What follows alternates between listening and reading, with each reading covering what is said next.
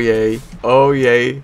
Dit, ik vind dit spannend. Welkom dames en heren bij een gloednieuwe aflevering van Euro Truck Simulator. En vandaag zijn we in Denemarken. Hoe kan het ook anders? Ik ben natuurlijk pas met de grote trip met Hessel uh, weg geweest. De Scandinavië trip. Dus het is ook heel leuk om gewoon even een ritje te maken hier in Scandinavië. Druk op thee. Oh jongens, dit gaat helemaal de mist in. Tot na de intro.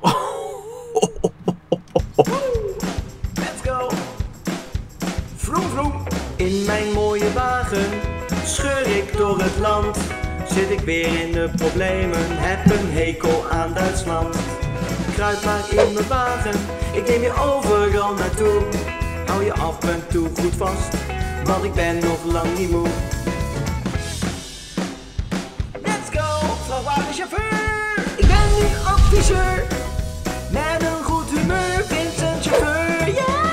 Dames en heren, na dit inmiddels nostalgische intro zijn we dus op weg met een volledige jacht. Dit is een prachtige boot. Jongens, het is groen, kom op, doorrijden. Hop, hop, hop, hop. En we hebben dus een best wel een leuke route, niet heel erg... Uh, sta je in één keer weer stil. Hij moet naar links. We gaan hier de route bekijken van Esbjerg richting Odense. Heel leuk, want toen we op weg waren heb ik die plaats ook een paar keer gezien op bordjes. Langs Kopenhagen naar boven naar Helsingborg. Borg, Borg heet het dan. En daar zijn we dus ook uh, langs gegaan met uh, onze Scandinavië trip. Dus erg leuk dat ik nu ook gewoon daadwerkelijk een complete jacht mag brengen. Uh, door Scandinavië heen. Hartstikke leuk. We hebben een prachtige trip gehad. En uh, natuurlijk hebben wij al heel veel video's gemaakt. Waarin we een beetje nakletsen over de trip. Logisch ook. Het is een van de grootste tripjes die ik ooit in mijn leven heb gemaakt. Dus we mogen daar best wel eventjes uh, een mooi verslag van uitbrengen. We hebben natuurlijk ook tijdens de trip een verslag uh, uitgegeven aan de hand van video's. Die konden mensen volgen. We hebben meer dan uh, 20 afleveringen gemaakt. Ook met livestreams tussendoor. Rond de 25 video's. Behoorlijk wat. Ik bedoel, ja, het is toch bijna in een maand elke dag een video. Dus ja, op zich best wel lekker. En we hebben het echt naar ons zin gehad. Heel veel mensen vragen van, joh, hè, hoe was de trip? Nou ja, over het algemeen zeg je dan heel ja, standaard misschien, maar het was gewoon een leuke trip. Kom op, ga naar links. Moet hij weer wachten hoor. Ja, ik speel niet online en dan speel je dus met computer autootjes en computerbussen, computervrachtwagens. En dat, dat, rijdt allemaal niet echt door. Ze houden zich allemaal aan de regels. Er komt binnenkort wel een nieuw spel uit voor de console, voor de PlayStation 4 en de Xbox One. Dat heet Truck Driver. Oh, jongens, oh, ik zag hem niet. Ik moet beter gaan kijken. Oh jongens, ik heb ramen gekregen, niet voor niets. Maar er komt dus een game uit, dat heet Truck Driver. Wordt ontwikkeld door Sudesco. En dat is uh, toevallig een Nederlands bedrijf. Zit hier ook uh, niet ver, omgeving Rotterdam zit hier, heel grappig. En hun gaan dus een game uitbrengen die ik sowieso ga spelen op mijn kanaal. En puur omdat ik best wel, nou niet verslaafd ben, maar deze serie loopt al een paar jaar. Ik ben al een paar jaar lekker op de weg. En heel veel mensen vragen ook van Vincent, nou niet heel veel, maar ik zie wel eens reacties komen. Vincent, maak je alleen maar preppark video's? We doen ook nog andere series zoals Vrachtwagenchauffeur Vincent. En wat doe ik dan? Ik ben lekker aan het kletsen met jullie over alles en nog wat. De ene keer kan het gaan over een pakje kauwgom en de andere keer kan het gaan over vegetarische mensen. Het is gewoon dat ik een mooie vrachtwagen bestuur. Althans, ik hoop dat jullie hem wel een beetje mooi vinden. Het is een knalrode, op zich wel een lekker opvallende vrachtwagen. En nu hebben we ook nog zo'n gigantische jacht. Eigenlijk kan het niet beter. Ik weet zeker dat ik best wel wat lekkere centjes ga vangen voor het brengen van deze prachtige jacht. Het is echt, er staat ook wat op de zijkant, de sloop 36. Nou, nu hoop ik niet dat hij gereed is voor de sloop 36. En dat hij dadelijk uiteindelijk niet uh, voor de sloop wordt gebracht. Maar we moeten hem gewoon helemaal netjes gaan vervoeren. Ik vind het wel heel gaaf hoe dat ding op mijn vrachtwagen staat. Hij staat helemaal omhoog. Hè? En op uh, ja, toch al ondersteuning. Heel mooi. Ook met extra, ja, van, van die klemmen is die vastgemaakt aan de zijkant. Het ziet er gewoon gigantisch uit. En ja, uh, wat kan ik erover zeggen? Het is gewoon leuk om zo'n vracht ook gewoon uh, te brengen. We zijn 5,5 uur onderweg. Iets langer dan 5,5 uur. Ik denk richting 6 uur. En we hebben al een lekker tempootje van meer dan 100 km per uur op deze weg. Ik moet je wel zeggen, toen Hessel en ik lekker aan het rijden waren. Althans, Hessel reed eigenlijk uh, ongeveer 3400 kilometer in totaal behoorlijk lang. We hebben ook ongeveer 9 tot 10 uur in de auto gezeten op de allerlaatste dag vanuit Kopenhagen terug naar Enschede. Want Enschede, daar woont Hessel en ik woon dan nog in Rotterdam. Dus voor mij was het vanaf Enschede nog uh, 2,5 uur rijden naar huis. Maar toch is dat best wel eventjes uh, ja, een, een eindje. Dat is gewoon een eindje. We maken dadelijk een bochtje. En dan gaan we een soort van afslaan richting een andere weg. Een andere kant op. Het was maar even grote respect voor Hessel. Hij heeft het perfect gedaan. Eh, hij was ook af en toe een beetje moe. Logisch ook. Ik zou ook heel moe zijn. Ik was zelfs ook moe. En ik zat naast hem en ik deed niet eens sturen en gas geven. Ehm, ik bedoel, als je op de weg zit, moet je ook nog opletten op andere auto's en zo. Kost ook wel energie. Dus ik vond het wel. Ik had heel veel respect voor Hessel. Die heeft nog nooit zo ver gereden. En ook zo lang gereden. En ik heb, wij hebben allebei nog nooit zo lang gereisd. Dus dat was echt wel een unieke ervaring. Een unieke moment hebben we ook meegemaakt tijdens de trip. Dus dat is wel heel gaaf om dat uh, toch even te vertellen aan jullie. En ik weet ook zeker als je de tripvideo's hebt gevolgd. Dan, dan had je ook wel een beetje in de gaten dat we gewoon hele gave dingen mee hebben gemaakt. Absoluut. We gaan hier naar links. We gaan richting uh, Odense. En is dat serieus de brug? Is dat de brug waar ik toen overheen ging? Daar moet ik even snel een foto van maken. Want dan stuur ik je even door. Zo. Wacht hoor. En dan ga ik vragen van, herken je die brug? Nou, wie weet herkent... Ja, dat moet wel. We zijn er vorige week, althans voor de opname, vorige week zijn we er overheen gegaan. Dit is wel vet. Ik ga even een foto maken, moment. Dit is lachen, joh. Dit is echt gaaf. Het is zo... Oh! Zag je dat autootje? Zag je wat er gebeurde?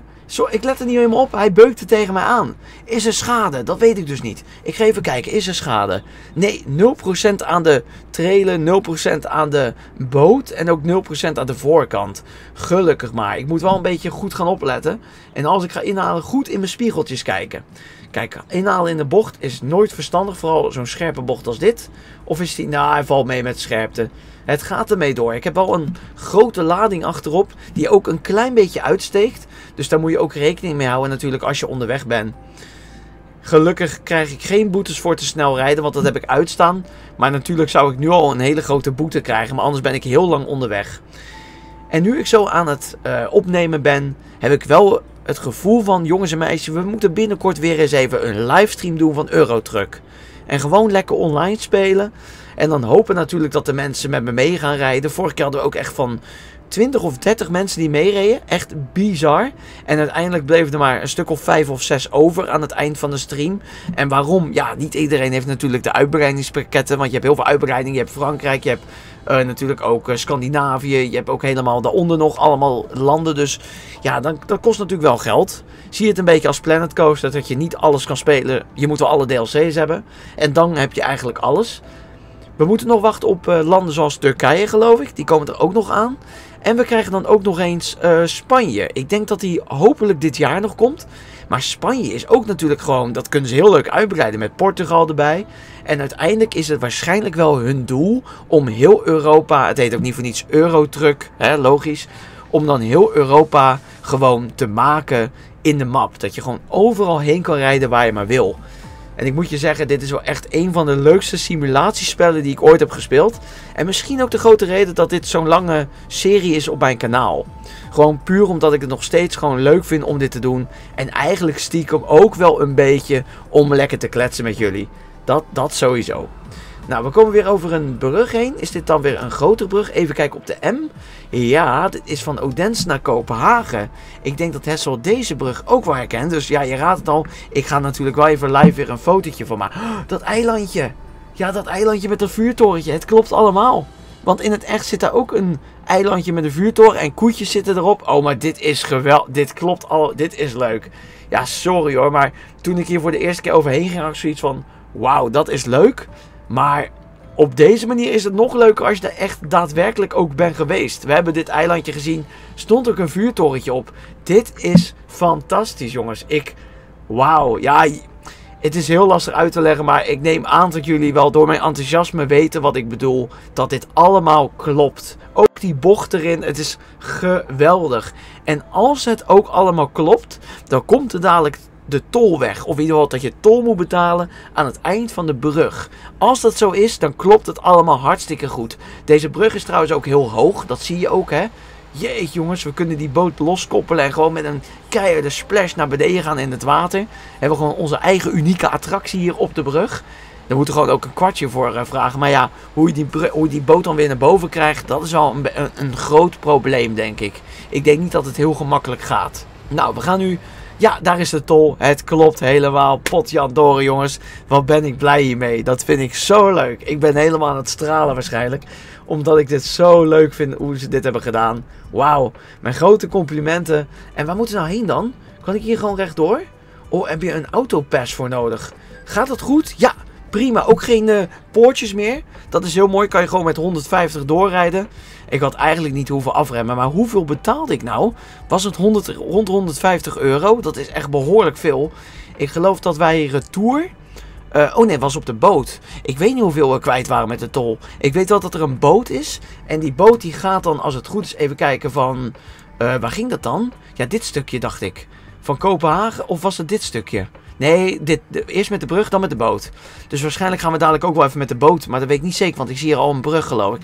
Nou, in ieder geval toen we met de boot gingen, was het retour. Dus heen en terug. 90 euro. Dus het, het, ja, dat valt op zich mee. Het lijkt veel, maar ja, de boot duurt ongeveer 20 minuten en dan ben je aan de overkant. Maar als je dat natuurlijk door de tweeën deelt, dan is het al 45 euro per persoon voor heen en terug. Dus dat is dan 22,50 uh, per persoon voor heen en 22,50 terug. Dus ja, het is wel wat geld, maar ja, weet je, het is wel gewoon hartstikke leuk. Je moet toch naar de overkant komen, dus je moet eigenlijk wel met de boot. En het is ook best wel leuk, even gewoon 20 minuutjes op het water. Weet je wie ook zoveel vaart? Tom. Ken je Tom? Er komt nou weer een hele flauwe grap, dus ik, ik, durf hem eigenlijk niet verder te maken. Ja, Tom Cruise. Nou ja, goed. Nou, over Cruise gesproken. Ik wil nog best wel een keer een soort van uh, met de boot. Even gewoon lekker, gewoon een, een, grote afstand afleggen. Dat lijkt me toch wel leuk. En sowieso ook met het vliegtuig lijkt me ook wel hartstikke leuk.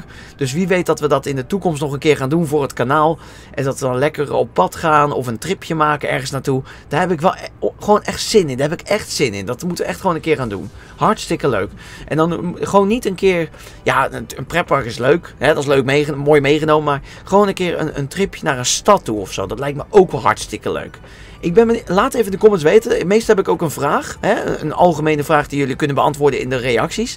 Maar de vraag luidt dus van... Jongens en meisjes, wat zouden jullie ervan vinden als we gewoon een keer een stad gingen bezoeken voor een vlog? Gewoon een lekkere een, een reisvlog. Dat lijkt me toch wel hartstikke leuk. Laat het weten en laat dan zeker weten waar we naartoe moeten gaan. Want je hebt ook in Duitsland hebben we natuurlijk München. Lijkt me ook wel leuk om gewoon met een vliegtuig op te pakken hier uh, vanuit Rotterdam of uh, Amsterdam. En gewoon lekker naar München gaan. En dan gewoon um, ja, een, een, een vlog maken. Gewoon een, een, ja, een tripje en dan een overnachting daar. En dan de volgende dag weer naar huis. Ja, dat lijkt me toch wel hartstikke leuk voor een keer. Laat het weten in de comments. En wie weet, als heel veel mensen zoiets hebben van Vincent, dat lijkt me een super leuk idee. Dan gaan we dat gewoon een keer doen. Gewoon ergens in september, oktober of zo. Gewoon met het vliegtuig en gewoon gezellig. Nou, hier gaan we over een andere brug. Wel een stuk kleiner, wel lekker hoog weer. En over ongeveer anderhalf uur komen we aan bij onze bestemming. En het mooie is, en ik moet het even afkloppen, want ja, die boot kan altijd nog keihard geraakt worden door een andere vrachtwagen of door een autootje of door de vangrail. We proberen natuurlijk zonder schade en gewoon met volle kracht vooruit deze vracht te vervoeren. En dan komt het hopelijk allemaal goed. Kunnen we hier gelijk doorrijden weer? Hebben we weer een autopass? Ik geloof aan de linkerkant. Oh nee, dat is afgesloten. Dan gaan we toch maar gewoon via de poortjes. We kunnen niet anders. Hoppakee. Oh, wacht. Aan de rechterkant heb je voor mij geen poortjes. Nou ja, ik ben nu te laat. We gaan nu lekker betalen op deze manier. Gewoon weer lekker tol betalen. 172. Dat is echt bizar veel geld. Maar we hebben het ervoor over, want we moeten... Nou, oh, die auto, die, kijk wat die auto doet. Hij botst tegen me aan, zag je het? Ja, ik weet niet, maar dit gaat allemaal zo snel natuurlijk. Maar wat een asociaal volk hier in Zweden. Potjandori, jongens. Ik moet echt gaan opletten op die... Uh... Ik zal netjes even mijn knipper aanzetten. Want stel je voor dat er dadelijk weer een autootje tegen me aan zit. Heb ik trouwens schade? Nee, dat gelukkig niet. Nou, dat is op zich wel een voordeel. En binnen een uur en een kwartier zijn we dus bij onze bestemming. Dat, dat wordt wat. Dat wordt er spannend ook. Links wordt er een, uh, komt er een autootje, zie ik nu in mijn... Ja, daar komt hij. Rij maar door. Hoppakee. Daar gaan we links inhalen. Zo. En dan gaan we gewoon de bordjes volgen. Richting Helsingborg. Voor mij zeg je Helsingborg of zo. Ja, het is echt uh, vreemde namen. De, de, ene de ene keer spreek je het zo uit, de andere keer weer zo. Maar er is maar één. Ja, het ligt er ook aan op welke manier je het uitspreekt. Want je kan het lekker op zijn Nederlands uitspreken, maar ook op zijn Zweeds natuurlijk. Dat zou ook nog kunnen. Is meestal, ja, het werd uitgelegd door een, eh, een Zweed toen we op vakantie waren. Als dan twee streepjes of twee puntjes op een letter staan, een A, dan is het E. Dan is het net als A en E bij elkaar, een E. En een O was voor mij een E. Of ik weet niet wat het was, maar ja, het heeft allemaal betekenissen. Dus je hebt dan zeg maar twee puntjes op een letter, maar je hebt ook een, een soort van dakje. Oh, wat gaan we nu doen rechtdoor? Oké, ik moet maar goed opletten. Je hebt ook een soort dakje en je hebt ook weer een soort van streepje met een rondje of zo, weet ik het allemaal niet. Je hebt allemaal verschillende tekens en die spreek je dan ook anders uit. Nou, we gaan hier eh, naar rechts. Oh, dat is die auto die ik me net heb ingehaald. En die ga, nu ga ik hem inhalen. Dat is echt zo dubbel dit. En over een half uurtje zijn we op onze bestemming. Ik heb er zin in. Ik vind het echt super leuk om, eh, om door ja, gewoon herkenbaarheid te zien. Hè? Gewoon die brug ook met dat eilandje en die vuurtoren. Dat dat ook gewoon daadwerkelijk klopt met het origineel. En waarschijnlijk zie je dat ook in een tripvideo. Want ik heb dat geloof ik ook gefilmd. Dat we over die brug gaan. Ik geloof een beetje aan het einde van onze tripvideo's. Wat gaan we nu doen? Gaan we... Oh, nu gaan we echt gevaarlijk doen. Ja, dit is echt gevaarlijk. Inhalen terwijl je daar naar rechts moet. Oh, ik ben heel die auto aan het afsnijden. Hij moest ook op zijn remmen. Sorry. En richting Helsingborg. Bo Helsingborg is het volgens mij. Of op zijn Nederlands Helsingborg. Gewoon lekker op zijn Nederlands. En ook precies met... Oh, dit klopt ook allemaal. Kijk dan, met die pijltjes daar in de Zweedse kleuren. Dat was ook in het echt. Best grappig. Want bij ons zie je dan zeg maar rood-wit. Omdat rood-wit-blauw, dat wordt een beetje te, ja, een beetje te gek natuurlijk met drie kleuren. Maar onze vlag komt ook terug, net als in Zweden. Zweden heeft natuurlijk twee kleuren. Die vlag komt wel terug bij die richting, die die richting aangeeft. Dat is best wel grappig eigenlijk. Want wij hebben dan rood-wit. Maar dat, je zou ook rood-blauw kunnen hebben of wit-blauw of zo. Nou, een lekker bochtje. Geen schade gemaakt. En ik zie al het vlaggetje staan verderop. Dat houdt één ding in, dat we gewoon bij de plaats zijn aangekomen. Ik heb deze plaats al een keer eerder verkend, dus ja, we zien niet grote beeld van welkom of uh, Helsingborg verkend. Weet je al, welkom met grote koeienletters. Ik ben helemaal welkom hier in Zweden. Nee, dat is dus niet het geval. We gaan hier naar links. Ik moet eigenlijk even kijken, kan het? Oh, er komt een Nee, ik dacht dat er een rode auto aankwam. Zo, en nu zijn we eigenlijk een omweg aan het doen, want ik had eigenlijk rechtdoor gemoeten. We zien daar Konsnor. Konsnor? Ko hè? Konsnoor? zit er serieus een... een huh? Oké. Ik las serieus kontsnoor. Het kan, het kan, hè? Ik bedoel, ja, je kan er trots op zijn, op zijn naam. En hier gaan we verder. We gaan door het rode licht, want dat mag in Zweden. Ja, het zijn net weer andere regeltjes. Kijk, en groen moet je eigenlijk... Oh, wachten! Shit, ja, nu ga ik toch maar even door. Potverdorie, groen licht is altijd even stoppen. Ik verzin die regels nu ook gewoon ter plekke. Kijk, en rood lekker doorrijden. Heerlijk jongens. Ik vind het fijn als die gewoon een hoop op rood staat. Logisch ook. Hier dan een van de laatste bochtjes. Dus ook weer een lekker scherp bochtje. Lekker ruim nemen. Hoppakee. Weinig verkeer ook. En trouwens één ding. Wist je dat je in Denemarken uh, altijd verplicht je lichten aan moet? Leuk om te weten. Anders kan je gewoon een boete krijgen van de politie. Dus mocht je een keer in Denemarken komen, zeg dan tegen je ouders, of je ouders weten dat waarschijnlijk Doe even altijd je lichtjes aan. Sowieso. Nou, hier zo. Uh, gaan we het moeilijk doen? Laten we het makkelijk houden dit keer. Zo. Waar moeten we precies heen? Oh, naar de zijkant. Dat gaat helemaal goed komen. Kijk, we nemen een beetje een brede bocht. Zo. En dan terugsturen. Terug. Oh, oh, oh, oh. Kijk uit.